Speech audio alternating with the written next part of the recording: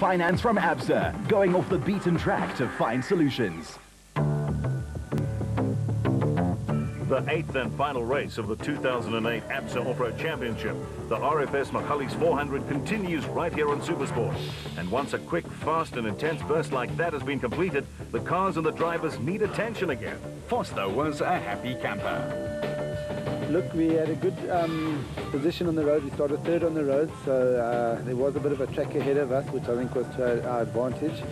Um, we had a good run. We, we, really had a good run. Um, Rafi was brilliant. He read the road well. Um, we attacked. We went as, as, as, as fast as I, I, thought that we could because off the racing line there were dangers. There were rocks, and if you you got a bit out of shape, you were, get, you were going to either get a puncture or damage your car in some way. So we went as fast as we could, um, but keeping it pretty clean. In other words, normal procedure for Duncan. Toyota too were pleased. It was a very good result for us. Um, I think the, the drags have showed that the Nissans do have a little bit more power than what we do in the straight lines. And uh, being so fast here at this off-road event, I think that the Nissans perhaps took their time from us. Uh, it was down the long straights. But nevertheless, on the whole, I think uh, we kept it nice and clean, had a clean run and uh, had quite a good result to finish second. And all the teams had praise for the Super Production Car Class or SP category. The series itself is fantastic. I mean, the formula is working. This SP is unbelievable. Uh, just coming down to the last race and three of us can win it. So it's, it's good. It's good for the formula and it's good for off-road, you know. So uh, it's a pity about the, that it's, it's such high speed here because uh, both Hannes and us, we had a puncture in the, in the time trial. So uh, it, if it doesn't rain tomorrow, we've got a problem. For the Motorrad camp, the speed is definitely there. Now for the consistency and good luck. Yeah, we've qualified, I think, uh, fastest the last three races so now. Know, we never had a problem with pace. I think we just had a little bit of bad luck this year. Um, but looking back over the last four years, we had an incredible amount of good luck. So we've written the year off. I'm almost happy that it is the end of the year. Um, yeah, I'm happy that we brought it in uh, first overall for tomorrow morning, just to show that we still have a little bit of pace and um, we'll try and go for the win tomorrow. Obviously go out to the end of the year uh, winning the last race. But um, it was quite an exciting day for us so far with the uh, little run down the drag strip. It was quite exciting. And um, the time trial was very quick, super, super high speed stuff. So um, quite enjoy that. And it suited the, uh, the two-wheel drive, the, the specials. I think we beat the Buckies a, a again so they'll make for an interesting race tomorrow. Berthold wasn't unhappy either, but felt he could have been a little faster. Yeah, not bad considering the circumstances. We got held up in Shamir's dust, unfortunately, which lost us about 15 seconds, and uh, we're second on the road for tomorrow morning, so it should be a good run for the Atlas Copco team. And that seemed to be the general verdict. Fast, all-out racing, without too many technical challenges. As the last racing day of the 2008 season dawned, the smiles belied the tension in the air. There were six championship titles up for grabs and a lot to play for. And not only that, drivers and teams were mindful of the end of the year negotiations between sponsors and teams and wanted to finish off the year on a high note. For Fox, it was a good night's rest after a quick run. He was pleased. Yeah, I am. I'm very pleased. The, the car was brilliant yesterday. Uh, we had a really good run. Um, the terrain, I think, suits, suits our, our, type of setup. So I'm hoping we can convert it to a, a good result today. Now, being first on the road, will that be a big advantage, Duncan? Um, yeah, today it will. There's, there's no wind, uh, and we, we are ahead of all the, the, the, the buckies. So there, and there's there's uh, about six or seven of them that are in a really close. They're close to each other, so and we're a little bit ahead of them. So I'm just hoping we can get a, a gap and not have any trouble. Yeah, it's good to be um, in Joburg for a race, you know, home home race. So we've got full support from the whole team. All the kids and family are here. Um, obviously, it makes it a whole lot more fun. Yeah. No pressure on you today at all? Yeah, I suppose the only advantage of not being in the championship race is that there's no pressure. I didn't lie in bed last night tossing and turning about strategy. We, you know, we, we had to win the race. We're trying to win the last race. We managed to do it at uh, the previous event. So it's the only thing we can really get out of the end of the year. You know, unfortunately, we've had some bad luck. So uh, quite simple. We're going to go for it. We're going to go for the win, and that's it. With race strategies drawn up, cars ready and prepared, drivers and navigators rested and raring to go, it was all systems go and all hands on deck as the last race of the 2008 ABSA off-road season finally hit the road. And Hutchison flew away to a quick start as he led the field away. The two-time champion certainly had a few scores to settle and was desperate to end off the season on a high note after starting off with a burnt-out wreck of a car in the Western Cape. And while we see our first chopper shots, thanks to Connie Pinard for the use of his chopper, couldn't have done it without you. We certainly could have. Now, Berthold and Vermeulen started six seconds later with the Sulvolts next. But the last mentioned were trying to win the championship, while the two cars in front of them were trying to win the race. A little like losing the battle, but winning the war.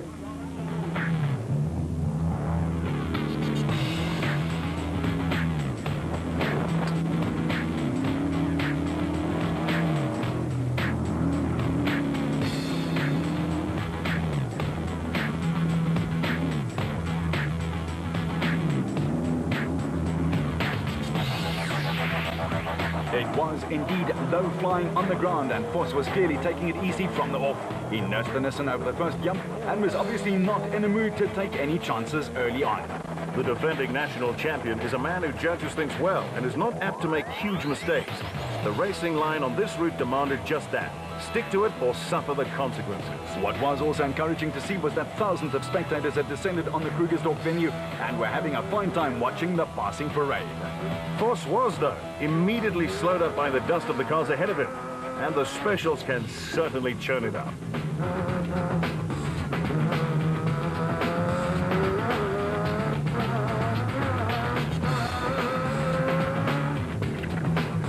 One of those turning it up at the front was Hutchison and Bergman, who were in a mean mood early on and trying to break the imaginary string stretching back to the rest of the chasers.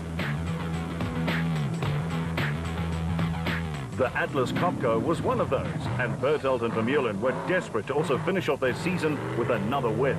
But the dust was tough for the specials. No windscreens there to keep it out of just about everything, and that includes the working parts of the engine. Meanwhile, the championship pace setters, Cully and Quinton Sulvold, were settling down the car and the nerves. They were, after all, shooting for their first national crown.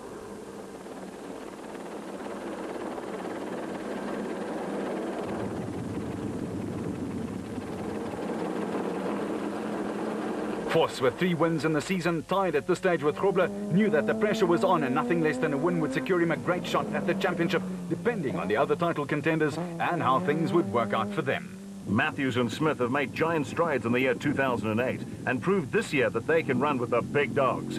Their car too has been reliable and it has certainly given them peace of mind to race hard. Total Motorsports' Shamir Variawa and his nav Siegfried Rousseau produced victories in the desert in Botswana over 1,000 Ks and followed that with another win at Sun City. They were driving on lots of confidence. While Cronier and Birkin moved by their teammate and had to play the cat and mouse game and wait for the right time to make another move. Hmm? Regent Racing's Michael Whitehouse and Matthew Carlson were fourth in the special vehicle battle, but had high hopes of victory here, as they've also been a crew that steadily improved throughout the racing year. And in the second Castrol Toyota, Visser and the experienced navigator Badenhorst were making a good run back at their stablemate Cronier, and then Vos up ahead. With the Michelin Excel dealer teams De Brains having moved up a spot and wanting more of exactly the same. Mark Corbett and Rudy Belzar, experiencing fuel flow problems, stalled their Century Property CR1, and a rather impatient John Moore and Leander Pinar gave it a gentlemanly two seconds, and then started pushing. Oh well, someone has to do it. And they finally got it underway. The Magalies dust was debilitating, and no more than for the teams further back. Woolridge and Schultheimer were 17th on the road and wanted to make some headway very quickly. With the 51-year-old Grobler and Moore following their example, they were a long way back early on after their punches in the prologue. George and Sharon Barkhuizen is yet another crew that have improved at a rate of knots, and the Rubicon Off-Road Racing Squad were doing exactly the same thing here, right here in the Northwest. And in the Class P battle for the championship, the Adenko crew of the Bezuidenhouts had stated their intentions clearly. They'd moved by Thompson and Campbell and were staking their claim. For the Zermattans, it was pick a line, hold on, and go, ready or not.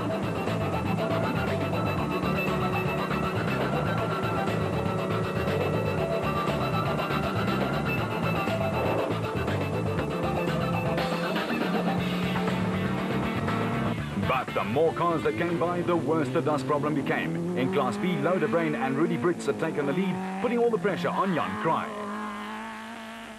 And in the special vehicle A-Class battle, the father and son combination, Nick and Ryan Harper, were getting their brand new Bat Spec 4 to listen to them. After a solid 70 kilometers of racing, the Motorrad crew's bad luck continued as gearbox trouble saw them drop out of contention, with Berthold and Vermeulen taking over at the head of affairs and the Silwarts keeping them within eyeshot.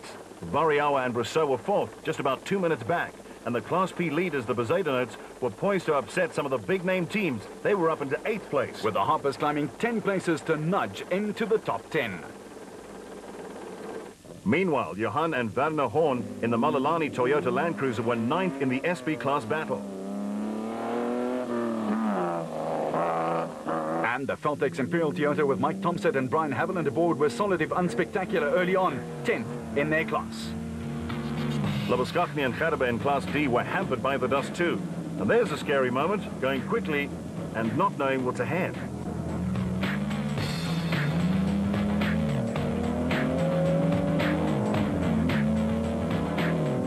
Exactly where you misjudge things. And in Class E, things were steady as she goes. Visser and Leroux clinched three early season wins, and since then, they've been defending. They had a 21 points worth of breathing space, just enough to relax. And the Transco lad, Diedrich and Donny Hutting, were applying just a bit of pressure behind them to make it interesting. But at the sharp end of the field for the production car battle, Vos and Pitchford were in control. The former track racing star was in control nicely and keeping two other former champions and title contenders, Woolridge and Grobler at bay with a superb start to the last race of the season. Cronier and Birkin were second and applying pressure. But as in the specials, it was a race within a race. One to win the championship, the other to win the inaugural RFS Magalies 400 title. The Ford Dio were fifth, but were about to run into some serious problems, while Grobler was a long way back after those punctures. Was Horn, and then 10th, Thompson and Haviland in their Toyota.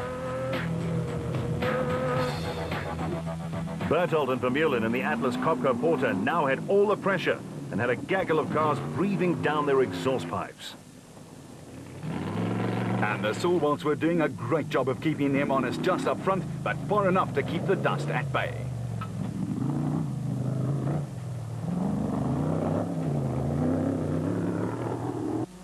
Vos wasn't as lucky and had to take a slightly more cautious approach. There was very little wind, and the red Magalies dust hung around like a bad smell. Matthews and Smith had piled on the speed and were contending for a podium place.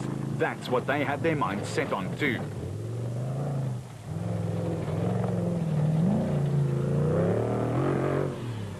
With a very clean-looking Total Motorsport Porter with Variawa and Rousseau on board speeding by like a bullet train up into fourth in Class A.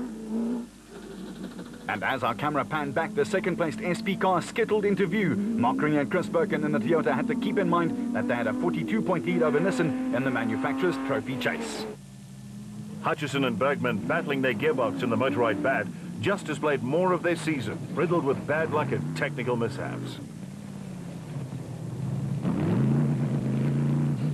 On the way now to the designated service point back at the Tarlton International Raceway, and Regent Racing's top challenger Michael Whitehouse and Matthew Carlson had driven a commendable first third of the race. Now, the crunch part was ahead.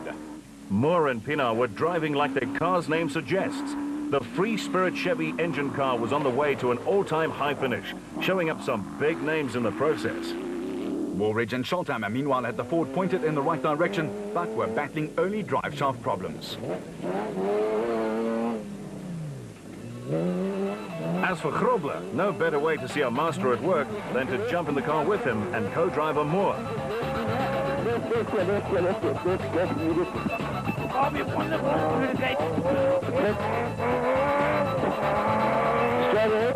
1.5 goes to a good right. We're going to stop there. Almost a costly wrong slot there for a man chasing hard. The and XL dealer team was still nicely on track for a solid top five finish in the Toyota Hilux.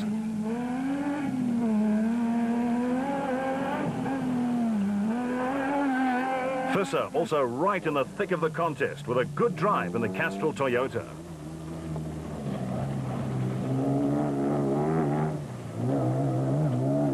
But straying off the racing line here can be absolutely fatal. The Barkhuizens again had the bit between their teeth and the Bloemfontein-based Rokon team's SP entry was purring along very nicely. Thank you very much for asking.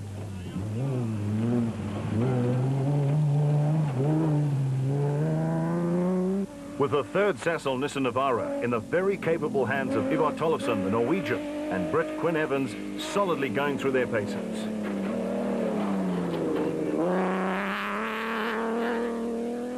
The Zermattens with that insurmountable lead of 35 points for, for all intents and purposes home and dry. But they were still looking out for win number five just to top off a great season. Talking about top off, Kuni Pinar, the man in the chopper, again topping it off for our great pictures. In Class B, Jan Kraai and Tito Vogt were setting the pace ahead of category leader Louw de Bruin, who heads the championship by just 12 points.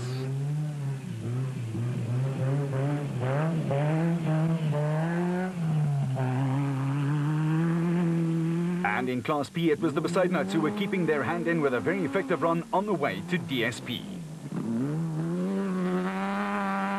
On a well-marked route, De Bruin was driving just behind Kraai, keeping them in his sight, but not pushing. First finishing is the key to finishing first in this sport. Wise words. Thompson and Campbell were also still in with the shot, but had faded a little over the first half of the RFS Magalies 400.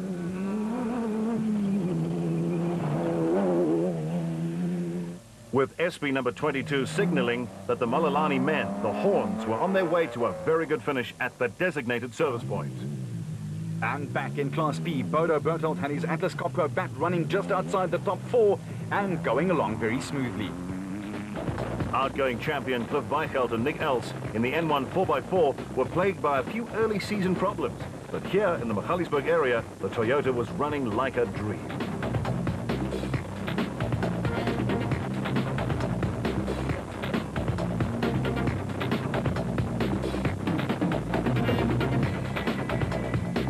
Graham Leith and Mike Lawrenson in that very aggressive-looking Ford Ranger in their first outing, hoping to score points for the team in the manufacturer's trophy chase.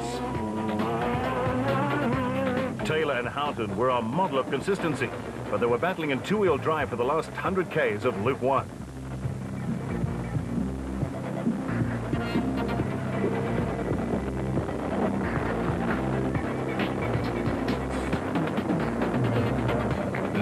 Easy thing to do, and Taylor, a master at it. The RFS men were in their element in their own race, and the orange and black Toyota was up a fistful of places, with Christian de Plooy driving very well. Visser and Leroux were cruising along. Their sole aim was to get the Barbaspan Toyota to the line in one piece. The first half of the call was almost done.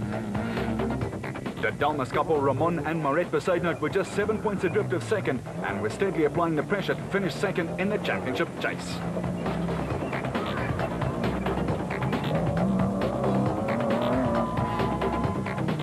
Back in the SP class, Cobus van Tonder and Louis Weichelt were keeping the Unifreight Ford Ranger on the straight and narrow. But not long after this, they ran into trouble. Luckily, they did make it to DSP. The Feltex Imperial Toyota, with Thompson and Haviland in the cockpit, were inching their way up the order. Duploy and Van Rensburg hit the bottom of this donga, with screamers blaring in their ears, as Johan van Staden and James Rousseau were battling to get a passing spot. And an impatient Giel Nel and Dion de Kock and the Luke Zarko truggy just behind them, trying to wiggle past as well. In Class E, the Huttings and the Trasco Hilux had reclaimed the lead and were pulling away gradually. With Keith DeToy and Johan Hoffman in their Ford Diesel Ranger up into the best position they'd ever enjoyed in a national championship event. We are back right after this. Vehicle and asset finance.